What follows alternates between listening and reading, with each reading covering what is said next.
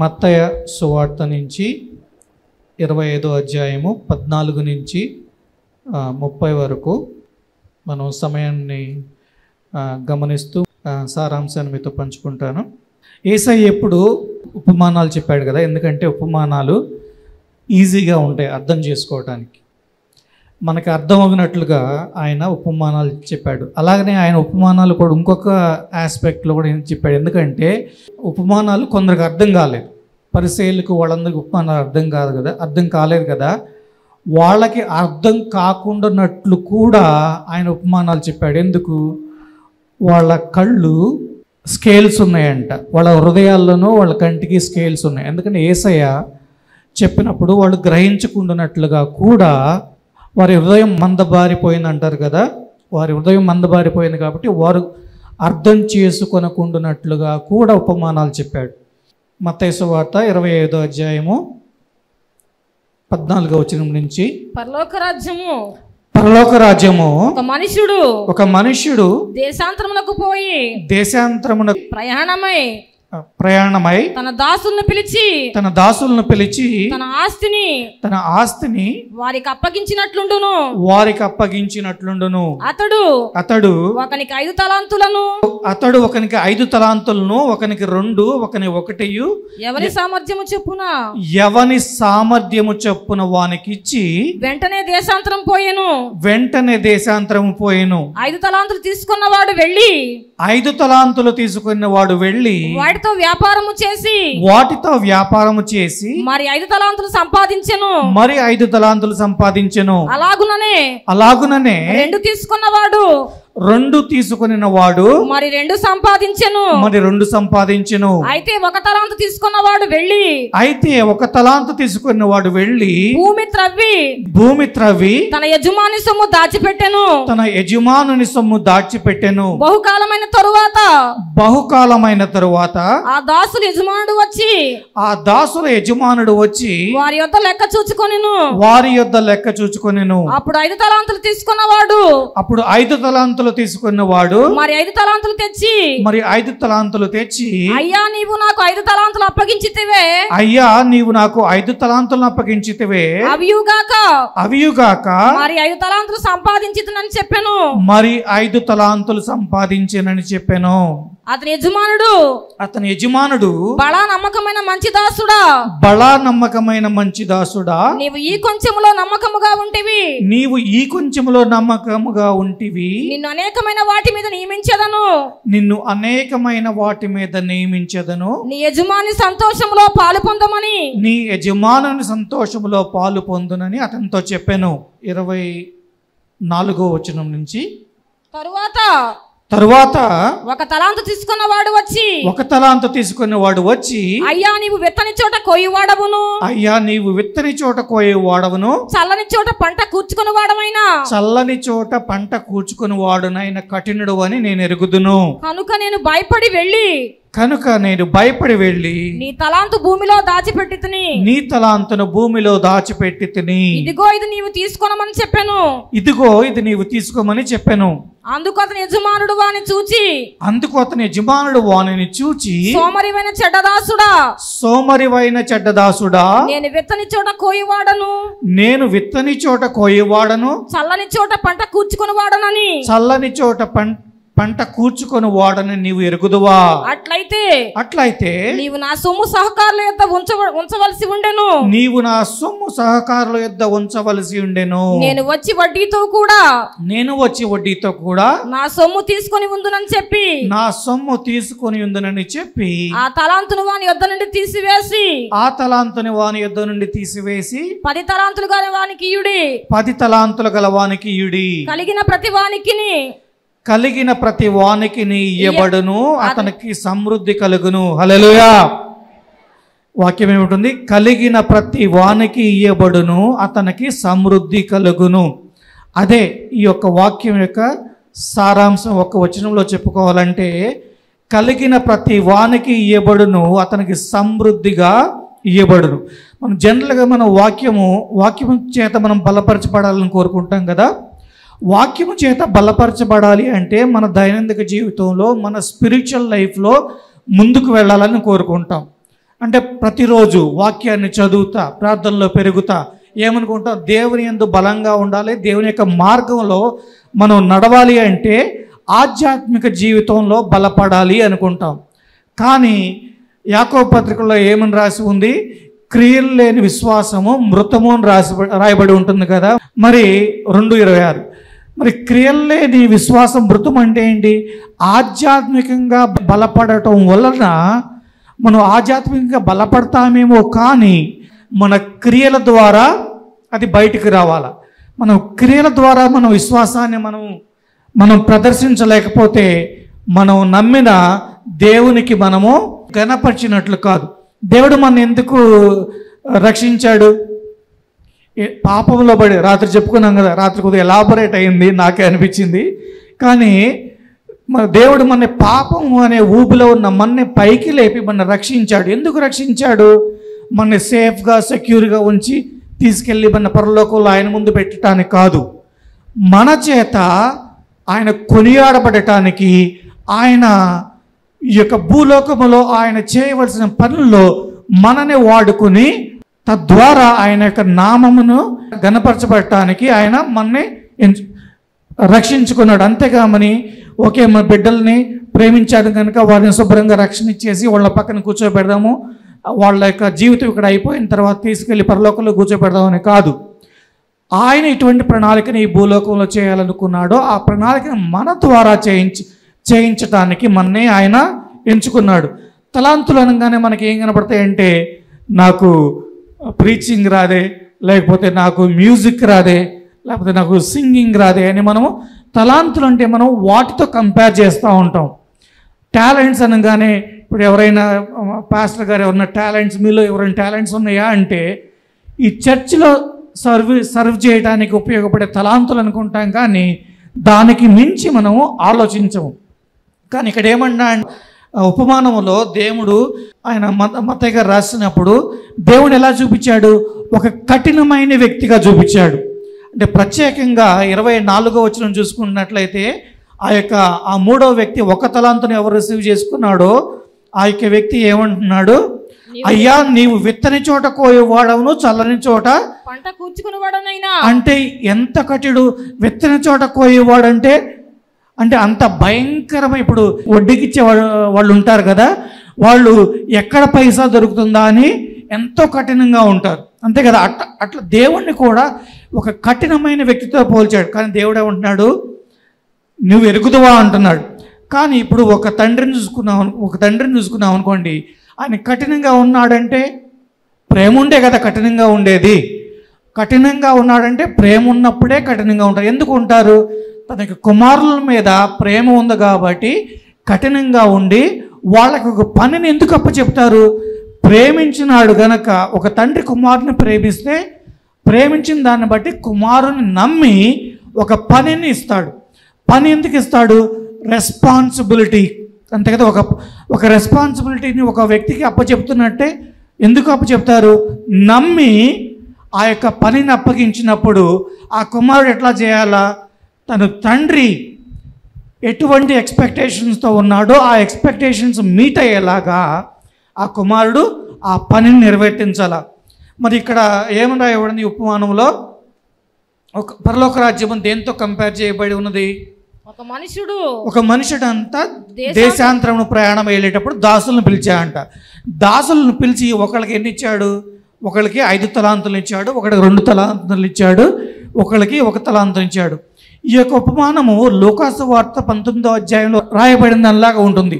Compare చేసుకోవచ్చు. కానీ పంతొమ్మిదో అధ్యాయంలో రాయబడిన ఆ, ఉపమానం ఎలా ఉంటుందంటే అక్కడ లోక ఎలా రాశాడంటే ప్రతి వ్యక్తికి ఒక తలాంతు ఒక మీనా ఇవ్వబడినట్లుగా చూస్తాం. ఇక్కడ ఏమంటున్నాడు మతయ్య రాసినప్పుడు ఎవరి సామర్థ్యము చొప్పున వానికి ఇచ్చినట్లుగా మనం చూస్తూ ఉంటాం. చూడండి మనలో ఇక్కడ కూర్చున్న ప్రతి ఒక్కరూ డిఫరెంట్గా ఉంటారు. ఒకరి సామర్థ్యము ఒకరికి సమానముగా ఉండకపోవచ్చు. కానీ ప్రతి ఒక్కళ్ళు సామర్థ్యం కలిగి ఉన్నవారే. ఇక్కడ దేవుడు ఎవరి సామర్థ్యాన్ని బట్టి వారికి ఇచ్చాను అంటున్నాడు కానీ అరే ఈ మూడో వ్యక్తికి నేను ఒక్క తలాంతని ఇస్తున్నాను. ఎందుకంటే వాడు ఎందుకు పనికిరాని వాడు వాడు చేతగాని వాడు వాడు తక్కువ సామర్థ్యం ఉన్నవాడు అని ఇవ్వట్లా. వాని సామర్థ్యాన్ని దేవుడికి తెలుసు. ఎవరు ఎటువంటి సామర్థ్యం ఉన్నో కలిగిన వారో దేవుడికి తెలుసు కాబట్టి దాన్ని తెలుసుకుని ఒక తలాంతిని అతనికి ఇచ్చినట్లుగా చూస్తాం. మరి మొదట వాడు డబుల్ చేశాడు రెండో వాడు డబుల్ చేశాడు. వాళ్ళు డబుల్ చేసినప్పుడు ఏమన్నాడు దేవుడు? బళ బలా నమ్మకమైన మంచి దాసుడా? బళ నమ్మకమైన మంచి దాసుడా? నీవు ఈ కొంచెంలో నమ్మకముగా ఉంటివి. నీవు ఈ కొంచెములో నమ్మకంగా ఉంటివి. నిన్ను అనేకమైన వాటి మీద. నిన్ను అనేకమైన వాటి మీద నియమింతును. నీ యజమాని సంతోషములో. నీ యజమాని సంతోషంలో పాలు పొద్దుమని అతనితో చెప్పాను. చూడండి. అంటే ఏం చేశాడు ఆ వ్యక్తి? డబ్బు అతను ఇచ్చిన తలాంతులు. తలాంతులు అంటే డబ్బు. ఇక్కడ డబ్బుతో కంపేర్ చేయబడింది కదా. ఆ ఇచ్చిన తలాంతుల్ని ఏం చేశాడంట? దాన్ని డబుల్ చేశాడు. డబుల్ చేసినప్పుడు ఆ తిరిగి వచ్చిన ఆ యొక్క యజమాని ఆనందించాడు. ఎందుకు? నేను ఇతనిపై పెట్టిన విశ్వాసానికి అతను విలువనిచ్చి నేను ఇచ్చిన ఈ యొక్క తలాంతుని డబుల్ చేశాడు కాబట్టి అతనికి ఏమన్నాడు? బలా నమ్మకమైన మంచి దాసుడా అన్నాడు. అదే మాటని ఆ ఐదు తలాంతులు ఇచ్చిన వ్యక్తితో అన్నాడు. మరి ఒక్క తలాంతు వ్యక్తి ఏమనుకున్నాడు? అతనికి అతని దగ్గర సామర్థ్యం ఉంది. సామర్థ్యం ఉన్నప్పటికీ అతను ఏం చేశాడు? తన యొక్క సామర్థ్యాన్ని వినియోగించకుండా భూమి తవ్వి భూమిలో దాచిపెట్టాడంట. లోకాసవార్తలో ఏమని రా రాయబడి ఉంటుందంటే అతను ఏం చేశాడు? రుమాల్లో కట్టి భద్రంగా దాచాడంట. ఎందుకు? కఠినమైన తన యజమానుడు తిరిగి వస్తే తిరిగి వచ్చినప్పుడు ఈ ఒక్క మీనాన్ని కానీ ఈ ఒక్క తలాంతను కానీ నేను అతనికి ఇవ్వకపోతే నన్ను శిక్షిస్తాడు. ఎందుకంటే నా యొక్క యజమానుడు కఠిన కఠినమైన వాడు కనుక అతను శిక్షించునేమో అని ఇతను భయపడినాడు. భయపడి దాన్ని ఏం చేశాడు?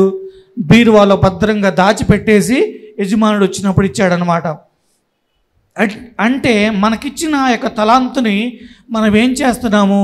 వాడకుండా మనం బీరువాలో భద్రంగా దాచిపెట్టేస్తున్నాం.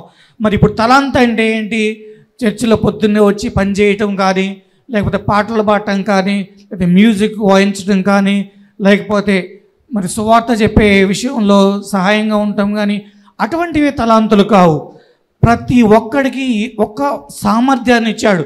ఆ సామర్థ్యము మీ యొక్క సోషల్ కనెక్షన్సే కావచ్చు. ఆ సామర్థ్యము మీరు చేసే ఉద్యోగమే కావచ్చు. ఆ- మరి చూడండి మీరు ఒక ఉద్యోగాన్ని చేస్తున్నారంటే ఆ స్కిల్ లేకపోతే మీరు ఉద్యోగాన్ని చేయగలరా? దేవుడు మీకు ఆరోగ్యాన్ని ఇవ్వకపోతే ఆ ఉద్యోగం చేస్తున్నారా? ఏ ఉద్యోగమైనా కావచ్చు. మేబీ స్ట్రీట్ వెండరే కావచ్చు బిజినెస్ మ్యానే కావచ్చు గవర్నమెంట్ ఉద్యోగే కావచ్చు వ్యాపార ఎటువంటి వ్యాపారస్తుడైనా కావచ్చు. నిన్ను దేవుడు అక్కడ ఆ పొజిషన్లో పెట్టాడు అంటే ఎందుకు పెట్టాడు?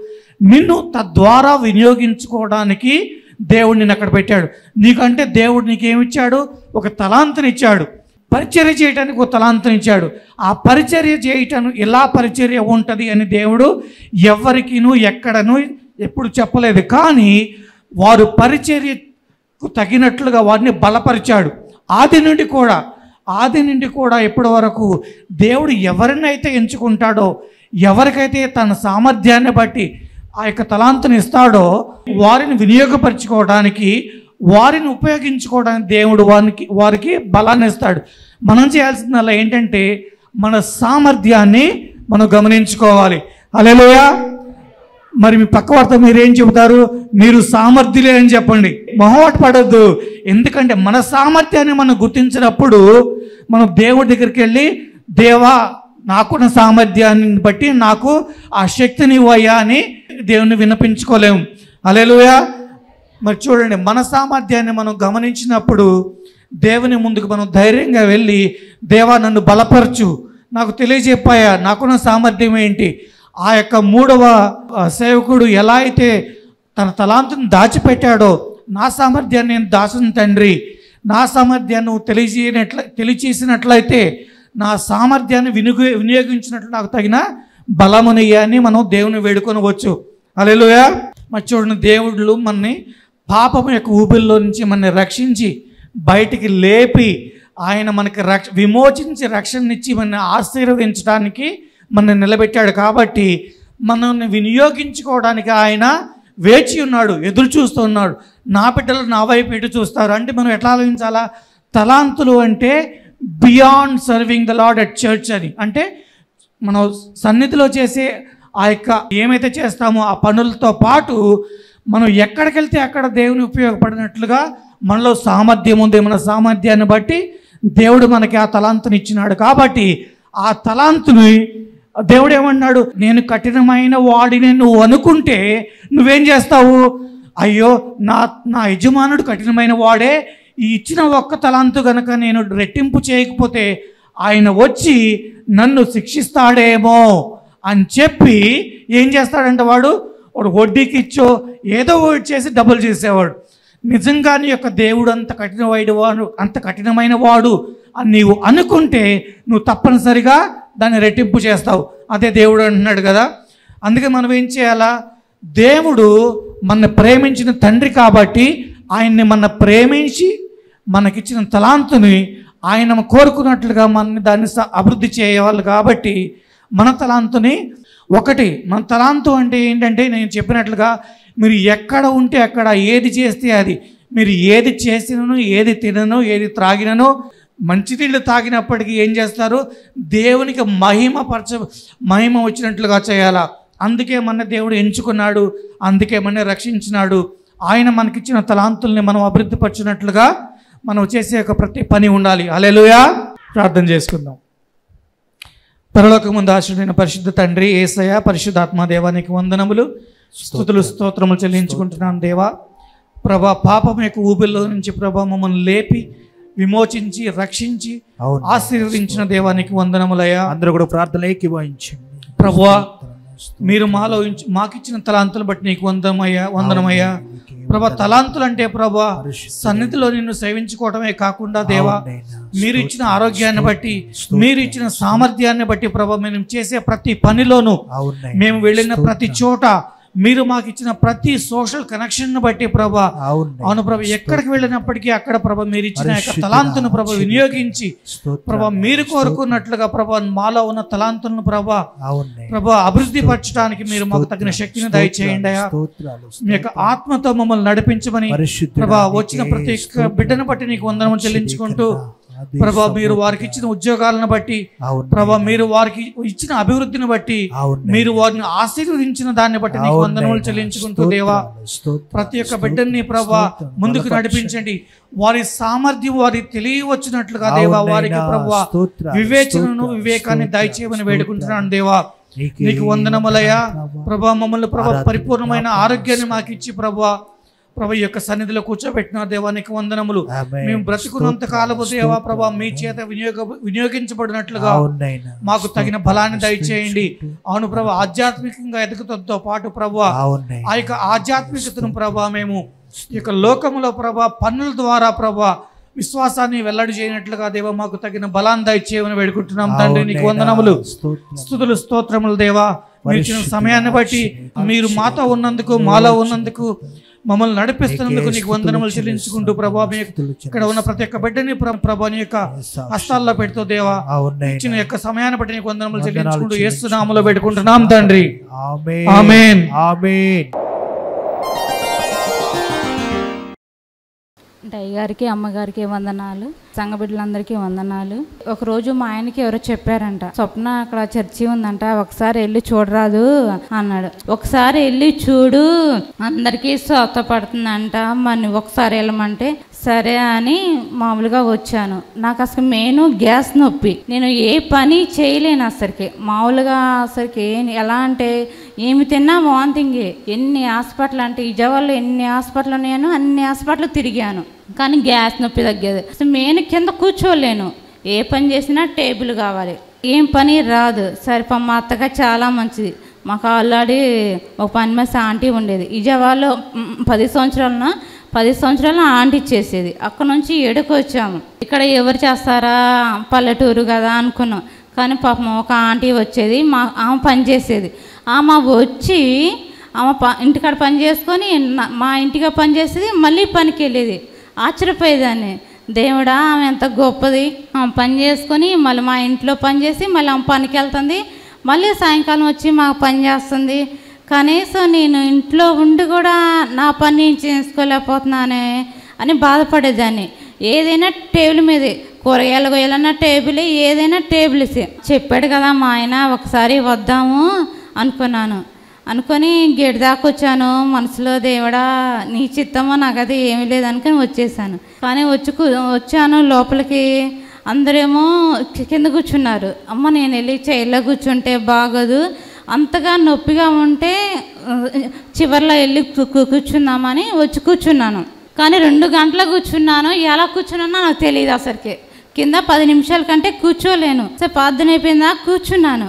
కూర్చున్నాక అసలు నేను ఎలా లేసాను ఎలా కూర్చున్నాను కూడా నాకు అసలు తెలియదు అమ్మగారు అన్నారు ప్రార్థన చేసి అమ్మ వచ్చిన వాళ్ళందరూ భో భోజనం చేసి వెళ్ళని అన్నారు. అమ్మగారు ఏమో భోజనం చేయమన్నారు. నేనేమో భోజనం చేయను కదా.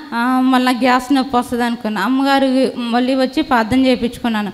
అమ్మ భోజనం చేశాను మళ్ళీ చెప్పింది. సరే అని భోజనం చేశాను. ఇంటికి నేను ఏ చర్చి చర్చికి వెళ్ళి వచ్చినా బైబిల్ ఆడపెట్టడం ముందు పండుకోవటమే. అలాంటిది అన్నం తిన్నాను ఇంటికి వెళ్ళాను. అసలుకి పని చే- ఇంట్లోకి వెళ్ళి ఇల్లు ఉడుతున్నాను మా ఆయన మా పిల్లలు అలా చూస్తున్నారు. అసలు నేను చర్చికి వెళ్ళటం బైబిల్ అలా టేబుల్ మీదే కనీసం పైన కూడా పెట్టేదాన్ని. టేబుల్ మీద బ్యాగ్ అలా పెట్టేదాన్ని మంచం ఎక్కేదాన్ని. అలాగే ఇంటికి వెళ్ళి ఇల్లు ఉడుచుకున్నాను. బట్టలు ఉంటే పైకి వెళ్ళి డబ్బా మీదకి వెళ్ళి బట్టలు తెచ్చి బట్టలు మడతేసుకుంటున్నాను. పని చేస్తుంటే మా అత్తయ్య మా ఆయన అలా చూస్తున్నారు. ఏంటి నాకు వెళ్ళి ఇలా చూస్తున్నారంటే? నువ్వు పని చేస్తుంటే చూస్తున్నావు అన్నారు. అప్పుడు నేను ఇలా చేయబట్టుకుని నా నా నడుము చూసుకున్నాను. నాకు ఆశ్చర్యమైంది అసలుకి. దేవుడా ఇన్ని సంవత్సరాలు ఎన్ని సంవత్సరాలు కష్టపడ్డాను అసలు ఎన్ని టాబ్లెట్లు మింగాను ఎన్ని హాస్పిటల్కి వెళ్ళాను ఈ నొప్పి లేదు అసలు నాకు. అసలు ఎంత స్వచ్ఛ ఇచ్చారంటే గ్యాస్ నొప్పి నడుము. దేవుడు ఒక్క రోజులోనే నేను వచ్చిన ఒక్క రోజు ఆ వారంలోనే నాకు తగ్గిపోయింది. అలాగనే నేను ఎమ్మటే మా నాన్నకి ఫోన్ చేశా. నానా నాకు అసలు ఇన్ని టాబ్లెట్లు వాడినా గ్యాస్ దెబ్బలు తగ్గలేదు నానా. ఒకసారి నువ్వు రా నాన్న అంటే అరే నేను ఖమ్మం నుంచి వారం వారం ఏమొచ్చా నాన్న అన్నాడు. ఒక్కసారి రా నాన్న వచ్చి చూసి నువ్వు వెళ్ళిపో అన్నాను. అంటే సరే అమ్మా అని మా నాన్న వచ్చాడు. మా నాన్న రైల్వే రైల్వేలో చేస్తాడు. ఆ పట్టాలు ఇరిగినప్పుడు ఒక ముక్క వచ్చి మా నాన్న కాలుకి తలిగింది అది ఎన్ని సర్జరీలు మూడు సర్జరీలు చేయించాం హైదరాబాద్లో. అయినా సెట్ అవ్వలేదు. నానా హైదరాబాద్లో మూడు సార్లు సర్జరీ చేయించాం కదా ఒక్కసారి కూడా సెట్ అవ్వలేదు. సెట్ అవుతుంది కానీ సీఎం కారుతుంది సార్ వచ్చాడు చూశారు బాగుందమ్మా చచ్చి అది ఇది కానీ నేను ఇంత దూరం నుంచి ఖమ్మం నుంచి వారం వారం ఏం వచ్చానన్న. అన్న మళ్ళీ వచ్చాడు ఆ వారం ప్రార్థన చేయించుకున్నారు అయ్యగారితో అమ్మగారితో వెళ్ళాడు. మళ్ళీ రెండో వారం మళ్ళీ ఫోన్ చేశా. నానా ఇది ఒక్క వారం రారా నాన్న? అంటే సరే అమ్మా అని వచ్చాడు. ఇక్కడ నుంచి వెళ్ళిపోయినాక సీమ్ కారటం ద- తగ్గిపోయిందంట మా నాన్న మూడు సార్లు సర్జరీ చేయించుకున్నాడు హైదరాబాదులో. ఇంటికి వచ్చిన వారం రోజులుగా సీమ్ కారేది అలా ఇంక నుంచి వెళ్ళిపోయినాక సీమ్ గారటం తగ్గిపోయింది. అసలుకి ఆశ్చర్యపోయి మా నానే అన్నాడు. అమ్మా ఏమనమ్మా అసలు నాకు కూర్చున్నట్టే లేదు వచ్చినట్టే లేదు నేను వస్తానమ్మా మళ్ళీ వచ్చే వారం అన్నాడు. సీఎం తగ్గిపోయింది. మా నాన్నకి కూడా దేవుడు చాలా గొప్ప చేశాడు. సైకిల్ మీద ఉంచబడితే ఈ బోన్స్ రెండు సార్లు ఇరిగిపోయింది. నాకు ఏం చేయాలో తెలియలేదు. డ్యూటీలో పనిచేస్తుంటే గబగబా ఎవరో పక్కన ఫోన్ చేసి మీ అబ్బాయికి చేయరిగిందని ఒక్క మాటే మీ అబ్బాయికి చేయరిగింది నువ్వు ఇంటికి రాని ఫోన్ పెట్టేసింది. నేను ఏడుతున్నాను. మళ్ళీ గవగవ మా సార్ వచ్చి నా ఫోన్ తీసుకొని ఫోన్ చేసి ఏం జరిగింది? ఏంటమ్మా అలా చెప్పొచ్చా? ఫోన్ చేసి చెయ్యి ఇరిగిందని పెట్టేశారు ఫోను. ఆ పిల్ల బాధపడుతుందంటే సైకిల్ మీద నుంచి పడ్డాడండి చెయ్యి ఇరిగిపోయింది అన్నాడు. సరేనే సారు గవగాను ఇంటికి వెళ్ళిపోమంటే ఇంటికి వచ్చాను నా చేతిలో రూపాయి లేదు. చెయ్యేమో ఇట్లా పట్టుకొని ఏడుతున్నాడు. అప్పుడు ఆరైతుంది. ఎటు వెళ్ళాలో ఏం చేయాలో కూడా తెలియదు దేవుడా నీ చిత్తమేమన్నా నాకైతే అసలు ఎవరు తెలియదు ఏ హాస్పిటల్కి వెళ్ళాలో ఎక్కడికి వెళ్ళాలో తెలియదు నాకు చర్చియే గుర్తొస్తుంది ఇది గబగబా మందు ఆటో ఈయనకి ఫోన్ చేశానండి. ఇలా చేరిగిందంట పిల్లోడికి అంటే గబగబా ఆటో వేసుకొని వచ్చాడు. ఇద్దరం ముందు చర్చి కాడికి వచ్చాం. అయ్యగారండి అమ్మగారు గబగబా మమ్మల్ని చూసి బయటకు వచ్చి ఏడుతుంటే అయ్యగారు అమ్మాయి నువ్వు ఏం బాధపడమాకు? నువ్వు మేము ఉన్నాము నువ్వు ఇక్కడికి వచ్చావన్నారు. గబగబా అయ్యగారు వేరే గ- గవర్నమెంట్ హాస్పిటల్కి ఫోన్ చేశారు. ఫోన్ చేస్తే వాళ్ళు ఎమ్మటే వచ్చామన్నారు వచ్చి జాయిన్ కామన్నారు. శనివారం నైట్ వెళ్ళిపోయాం. అమ్మగారు అయ్యగారు నువ్వు అర్జెంటుగా వెళ్ళి స్వప్న భయపడమాకు నువ్వు ఏడమాకు అని అమ్మగారు నాకు ధైర్యం చెప్పి పంపించింది. మేము గవర్నమెంట్ హాస్పిటల్ ఎంట్రన్స్ ఎంట్రన్స్లో వెళ్తూనే ఉన్నాము. ఒక ఆయన మాకే ఎదురొచ్చాడు. వచ్చి మీరు నీ పేరు స్వప్ననేనా? అవునండి నా పేరు స్వప్న అనే అన్న రాండి. అసలుకి పెద్ద కారులో వెళ్తూ వెళ్ళకని చెప్తాను డబ్బులు తీసుకొని రెండు లక్షలు మూడు లక్షలు అలా అలా కాకోకుండా తీసుకెళ్ళి నన్ను ఏం జరిగిందని కూడా అడగట్లేదు. మీ పిల్లాడికి ఏం జరిగింది ఎలా పడ్డాడని కూడా అడగట్లేదు. గొప్పగా జాయిన్ చేసుకున్నారు బెడ్ ఇచ్చారు వాళ్ళే వాళ్ళే మాట్లాడుకుంటున్నారు వాళ్ళే చూసుకుంటున్నారు. నేను మా ఆయన బయటే నిలుస్తున్నాం మొత్తం దగ్గర. ఎవరన్నా పక్కన వాళ్ళకి చేరిగితే చూడటానికి ఎలా ఉన్నా వెళ్ళామో అలా చూస్తున్నాం బయట. వాళ్ళే మాట్లాడుకుంటున్నారు వాళ్ళే ఎక్స్రే తీపించుకుంటున్నారు ఒంటేల పరీక్ష బెడ్ పరీక్ష కరోనా టైం. ముందు కరోనా పరీక్ష చేస్తామమ్మా ఒక సైన్ చేయి అన్నారు. ఇంకొక నర్సు వచ్చి అవసరం లేదు వీళ్ళతో సంతకాలు కూడా అవసరం లేదు అని గబగబా కరోనా చేశారు. కరోనా చేసిన గంట సేపటికి అమ్మ మీ బాబుకి ఏమీ లేదు రేపు మార్నింగ్ ఆపరేషన్ చేస్తామన్నారు. నా చేతిలో రూపాయి లేదు రేపు పొద్దున ఆపరేషన్ చేస్తారు. అసలు నాకు ఏం తెలియట్లేదమ్మా అంటే అసలు నువ్వేం భయపడొద్దు. మాకు పైనుంచి మాకు డాక్టర్ చెప్పాడు అన్నారు. సరేనన్నాం.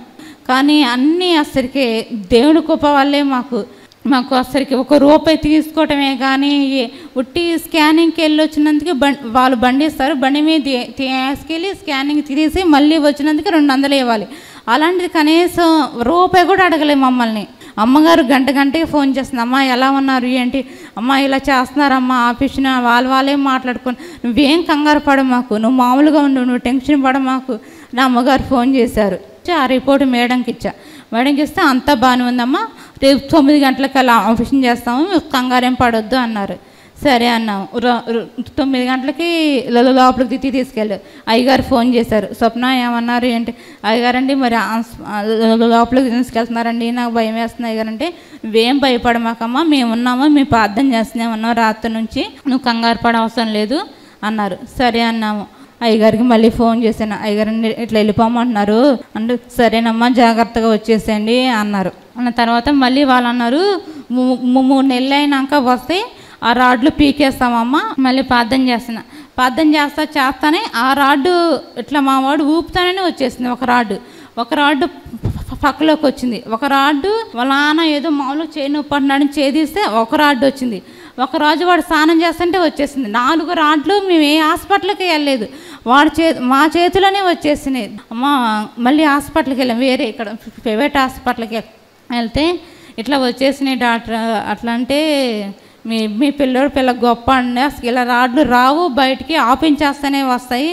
కానీ మీకు అంత దేవుడి చిత్తం అనుకుంటాని ఒక ట్యూబ్ ఇచ్చాడు ఒక మందు. ఇలా రాస్తే చాలమ్మా పై పైన. ఏం అవసరం లేదని ఒక రెండు సార్లు చెయ్యి అలా ఇలా అన్నాడు. అమ్మగారికి అయ్యగారికి నేను ఏమి ఇచ్చాను నేను తీసుకుని ఈ గొప్ప సాక్ష్యం దేవుని దీవించడం గాక.